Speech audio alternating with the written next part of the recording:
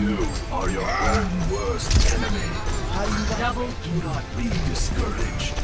Everyone begins in ignorance. double